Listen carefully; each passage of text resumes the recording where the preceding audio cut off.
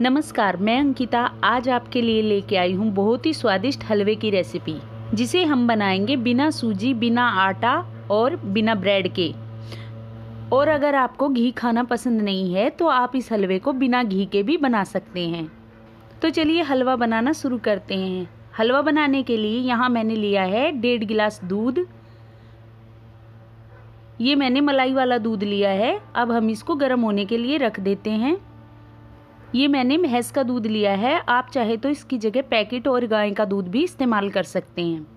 ये हलवा कम खर्च में बनकर तैयार होता है और इसका टेस्ट बिल्कुल खोए की मिठाई जैसा लगता है। ये खाने में बहुत ही ज़्यादा स्वादिष्ट है तो आप इसे एक बार ज़रूर ट्राई कीजिएगा।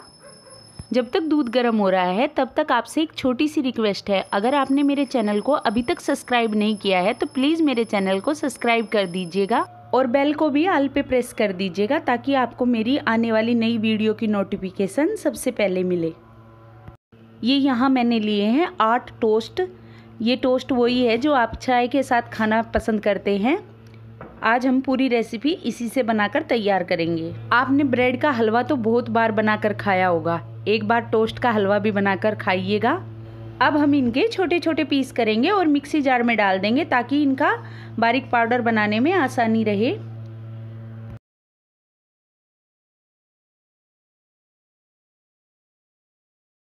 और देखिए, इसका बिल्कुल बारीक पाउडर बनकर तैयार हो गया है।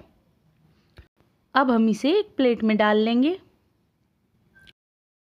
और देखिए, दूध भी अच्छे से गर्म हो गया है। अब हम इस गर्म दूध में तीन चम्मच चीनी के डाल देंगे। अब हम इस गर्म दूध में जो हमने टोस्ट का पाउडर बनाकर तैयार किया था, उसको भी डाल देते हैं।